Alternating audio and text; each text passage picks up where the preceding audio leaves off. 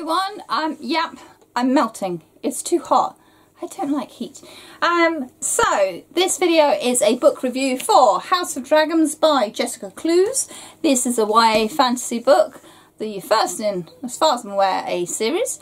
So, yay for the series books. Um, it is not Game of Thrones inspired, okay? Let's get that one out there.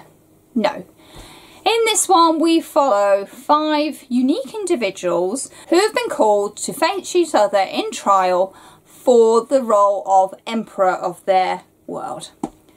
Pretty cool. Only this year, the Great Dragon, who calls the people, has kind of screwed up. And instead of picking the firstborn of each family, he is called a liar, a soldier, a servant, a thief, and a murderer um, from each family, which means anything could happen this, in these trials. Uh, the story is told from the five characters' perspectives. It's not first person though, which is fantastic. So you don't end up mixing up who you're following because you're just going to follow one character. Each chapter is about three or four pages long, so this is a very quick, easy read. You learn about the world as you go through it. It is assumed that you are in the same position as the person who's been mistakenly called. So you learn the rules, you learn the full detail of the world around you.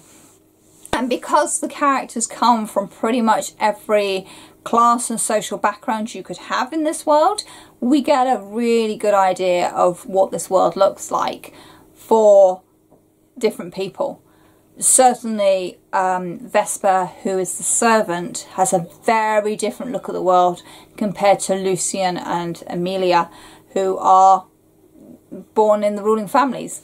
Um, so yeah, so I thought it was pretty clever actually. Um, House of Dragons probably falls down a little bit because it's not clear exactly what's going on for quite some time. And just when you think you know what's going on, there's this twist and you're sitting there going, oh, so what's happening now?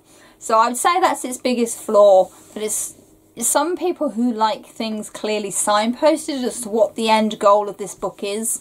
You might be a little disappointed, but I would say hang in there because actually not knowing where this book is going is probably one of its strengths because literally you're sitting there trying to figure it out as you go, as are these characters. I think my favourite characters in this book are Amelia. We certainly spend a lot of time with her and it's really obvious why towards the end. And Vesper, who, like I said, is the servant. So we get to see her point of view of life as a servant, how she's treated by her ruling family, and she has this fantastic connection to her dragon. That's the key bit of this book. The ruling families, each member has a dragon. Each dragon reflects the soul of its rider. So in this world, really the key is the rider and the dragon are like one being. And that becomes really clear to, again towards the end when certain events take place and certain things happen as a result. And I'm trying to keep this as spoiler free as possible because I didn't know where this was going. So actually it was really nice to see that play out. But definitely by the end you figure out the whole dragon side of your characters. Um, and that's really, really interesting and explains an awful lot as well. So we go. So House of Dragons, I would certainly say this is a, a worthwhile read. Borrow it if you can um, from the library or a friend or get an ebook. I really enjoyed it, but then I'm a sucker for dragons and fantasy.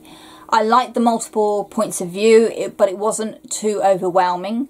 And because the chapters were short and snappy, you didn't lose your flow of, of those character storylines. It was all woven together quite nicely. And at some points, the storyline is told between two or three of the characters. So the story progresses, but you just see different viewpoints of it as you go through. So it's quite nice. So much, much more upbeat than Game of Thrones is, which is why I say it's nothing like it. There we go. So House of Dragons, have you read it? Try and keep it spoiler free, but leave your thoughts down below. Let me know what you thought. But again, spoiler free. Um, in the description box down below is a link to my book blog where I have more ramblings and hopefully more reviews from me. Fingers crossed. I'm being really, really slack at this. Um, you can also find my social media links. You can find me on Goodreads, Twitter and Instagram. So please come and say hi. That would be really nice. And there is a link to a Black Booktuber also there, which I want you to go and subscribe to, like, notifications and watch please watch their videos. Don't just click and walk away because it will not help sort out the YouTube algorithms. We need to watch each other's videos please. And as always thank you very much for watching and happy reading. Be well